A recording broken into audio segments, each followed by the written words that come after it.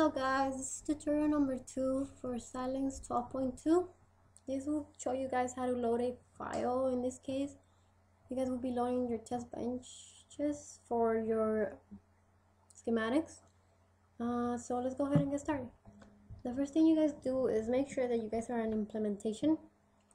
Then go ahead and right click on either one of the schematics. I'm to go ahead and start with my original equation, which is the one that has not been simplified. I'm going to go ahead and do add copy of source. The reason you guys want to do a copy of source is in case the file you guys are adding gets changed somewhere else, you guys don't lose it. You're gonna go ahead and add a copy of the file into your own folder. So when I go ahead and do copy of source, I'm going to find my equations, which I have under my my test benches, which I have under another file, another folder. So I'm gonna go ahead and add the original one first. Now double click on it and I'll go ahead and add it. If you get a green check right here, that means you did good. It's in your folder and you're ready to go. Then click OK. And then go ahead and in the design window, again, go ahead and click on your schematic, the one that you haven't added the test bench to. In my case, it's a simplified equation. So I'm going to go ahead and right click on it, add a copy of source. I'm going to find my source, which is the simplified.v, and then click OK. So let's go ahead and run this test bench. The first thing you do in the design window, go ahead and click on simulation and select simulation and then go ahead and click on whichever test bench you want to do I'm going to start with my original test bench for my original equation. Go ahead under the same window, the, the design window down here, expand this and then click on behavioral check syntax.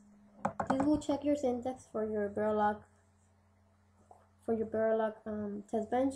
It should work because for you guys it was given to you guys, so it should come out as a green check then go ahead and click on simulate behavioral model. And it should pop out another window where it shows you guys your test bench. So the test bench that I made I made it so that it gave me the outputs in written letters. So here's my on the bottom left corner if you guys see I have my inputs A B C and my outputs and I checked it I checked my outputs according to my truth table that I already did. And it looks correct. So my original equation is giving me the correct answers. So another way of checking if you guys got the correct answer is by looking up here on the black window. This green lines that you guys see or feel is your inputs and outputs. So the first thing I'm gonna go ahead and do is click on this window and minimize it, make it smaller so I'm able to see my inputs and outputs. Let me go ahead and scroll this way, scroll to the left. Uh, still too big. So, okay. So Z is my output and as you guys can see, these here are my inputs. And it's correct, it uh, looks good. So then let's go ahead and run the second test bench. And it's gonna ask you when you close it if you guys wanna say really want to close or if you guys want to close it then click yes. Now I'm gonna go ahead and run my simplified test bench. So I'm gonna check it for syntax make sure there's no errors. And then do behavioral model again for to check make sure that my simplified equation came out as my original equation. Make sure that the output is the same. If your outputs are exactly the same then you guys did it did it correctly. So let me see why it's not. Okay for a reason I'm not too sure.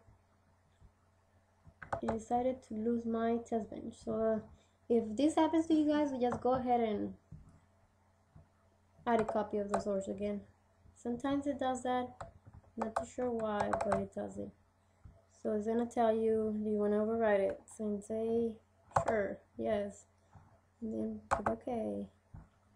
Now go ahead and click on simplify, put it back to simulation, simplify test bench, or whatever you guys named it, and then check the syntax,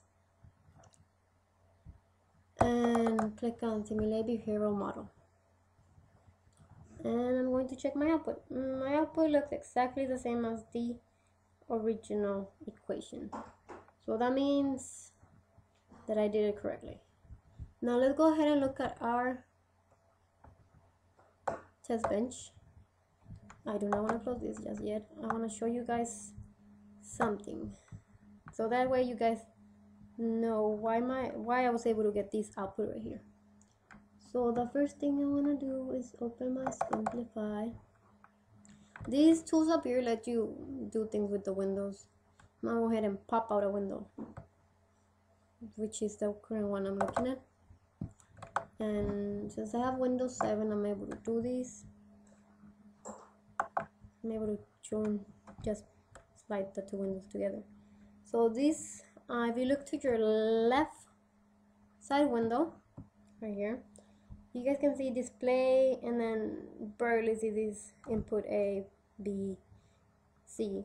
All these are just for display purposes. If you look to your right side of on the right side window you see the same output and this is just for output purposes. So this here that says input and then output are these things in gray that I was that I did to output into the window so that's it guys. I uh, hope this helps you out to build your project